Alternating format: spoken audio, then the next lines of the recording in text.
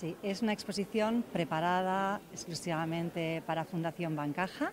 Entonces, uh, trabajando con la colección Carmen Thyssen, lo que se ha querido traer aquí es una muestra de lo que es esta colección.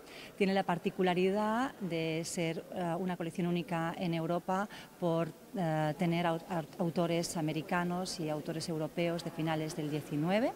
Entonces, es lo que aquí hemos querido poner de manifiesto.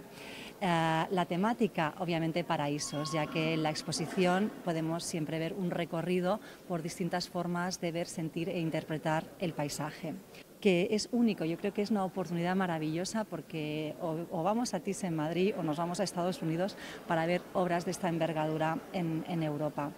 Entonces, obviamente, hemos traído artistas tan representativos como Pizarro, ¿no? tan padre, eh, Monet, uh, Levasque, Sisley y Gauguin el, recorrido ¿no? es un recorrido a través de la luz, es decir, empezamos con un paisaje que es sublime, es paisaje del alma, ¿no? es este espacio paradisíaco y uh, cuando ya el ser humano ha entendido o abarcado ¿no? ese mundo en el que vive, lo analiza y lo analiza a través de la percepción de la luz.